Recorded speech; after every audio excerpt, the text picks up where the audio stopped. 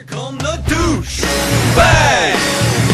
Betrayed Hot douchebag Hearts clubs are out of control. We're deep in your shit. You bitch ass trick You get hit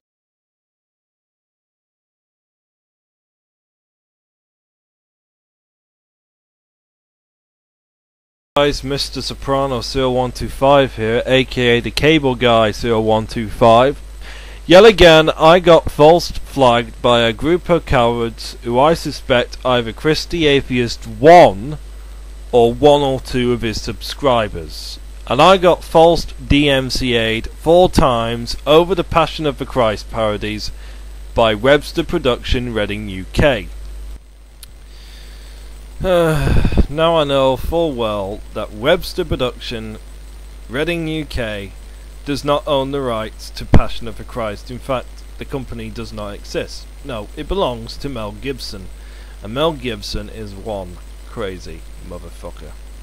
And I know full well who would use the name Webster, and that is of course Elliot Brown, aka Cassius Alien, aka Plagiarin Douchebag.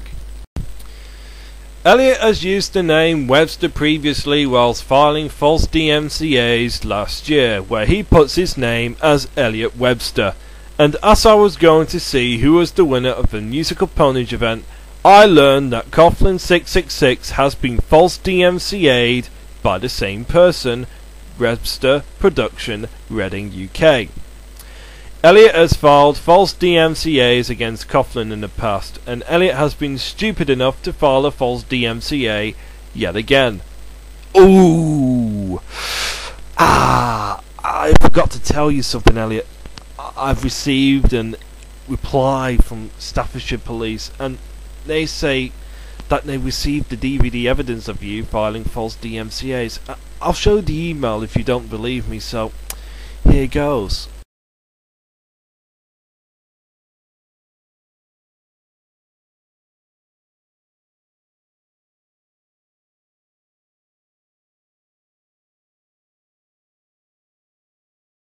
And on to the final topic. I have but one message to that lying coward Chris the Atheist 1.